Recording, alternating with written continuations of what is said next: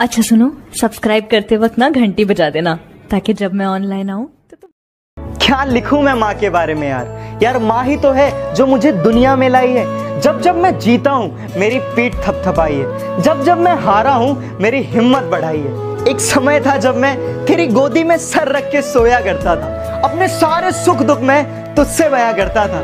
और अब एक ये समय है कि मैं आँखों से रोकर हंसता हूँ। पर जब मैं तेरा हंसता हुआ चेहरा देखता हूँ ना माँ मैं अपने सारे गम भुलाकर मंजिल की ओर चल पड़ता हूँ। माँ, मैं कभी कह नहीं पाता।